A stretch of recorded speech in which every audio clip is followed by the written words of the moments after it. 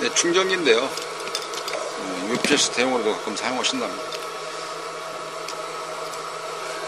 여기 불은 깜빡깜빡 네, 그러면서 에이션을 어, 넣게 되면은 2차 측에 전압이 나오지 않는 네, 그런 불량 증상입니다.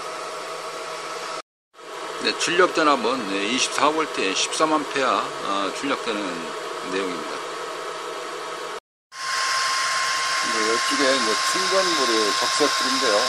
또 가운데 네, 한채불도 있고 만총할 때 녹색불인데 충전 상태 빨간불이 불안 상태에서 쭉 공단에 가시게 되면 여기에 케이블 연결되어 있는 자리가 있거든요. 여기를 딱 찍어도 어, 전압이 출력이 되지 않는 네, 그러한 고장 증상이네요. 잘 찍어봐도 나오는 전압은 현재 29mV, mV니까 1V도 안 된다는 거죠. 어, 볼트가 단위가 mV니까 28.7MV는 mV라는 거거든요. mV는 1V도 안 된다는 뭐 출력이 되니까 안 나온다는 뭐 그런 고장 증상이었네요. 네, 이게 충전이 안 돼서 출력이 지금 안 나오는 그런 고장이었는데 예, 쭉 점검을 해보니까 예, 우리가 보통 이런 거 고칠 때 부품이 양고 판정하듯이 네, 다이오드나 FET, 콘덴서 이런 정도 예, 부품 소자 이상 유무만 점검해서 그것만 교환한다든가 하는 식으로는 수리가 잘 안 된다는 걸 여기서는 많이 느끼게 되는 걸 알 수가 있네요. 어, 이와 같은 경우는 동작이 어떤 식으로 회로가 구성이 돼서 움직이는지 네, 그래서 음, 전류가 어, 약한다든가 그렇게 되면은 또 동작이 안 하기 때문에 좀 센 것도 한번 현재 예, 다뤄서 해보기도 하고요. 어, 부품의 어떤 그 사용의 예, 대치품 뭐 이런 경우도 한번 비교해서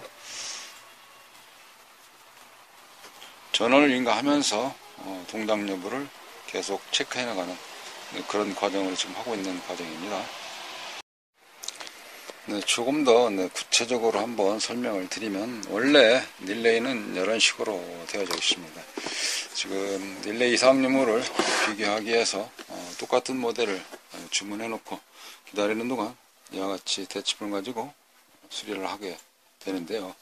에, 이 같은 릴레이 되어져 있거든요. 예, 릴레이는 용량이 여기 원래 박혀져 있던 거고요. 네, 그래서 저 릴레이 구동할 수 있도록 전원 인가하는 쪽에 네, 스위치는 이 소자입니다.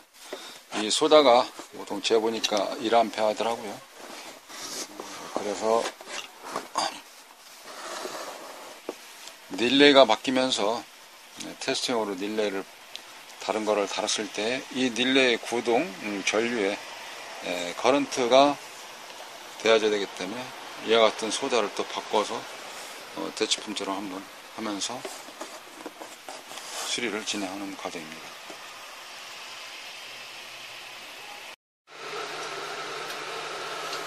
네, 수리를 마치고 충전 상태 잘 되는군요.